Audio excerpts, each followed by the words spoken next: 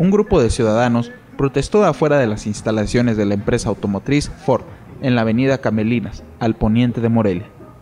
Los presentes repudian a la armadora debido a que en semanas anteriores decidió retirar una inversión en el estado de San Luis Potosí ante las presiones del presidente electo de Estados Unidos, Donald Trump.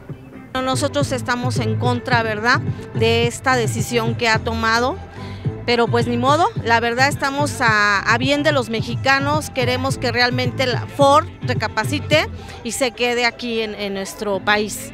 En nombre de todo Michoacán y de todo México, que no estamos de acuerdo con lo que piensa Trump, que México no tiene por qué pagar ningún muro y que independientemente de los problemas que tiene el país, Trump no nos va a venir a amenazar. Somos una nación independiente que, nos, que vamos a salir adelante. En cartulinas, los manifestantes expresaron su rechazo a la determinación de la compañía y le exigen que reconsidere la decisión con frases como México te abrió las puertas, no le des la espalda. Este contingente, de no más de 50 personas, es además militante del Partido Encuentro Social, que protesta en este día que coincide con la llegada oficial de Trump a la presidencia estadounidense. Los participantes no descartan repetir estas acciones en los próximos días en contra de Donald Trump, y sus intenciones de construir un muro en la frontera con México.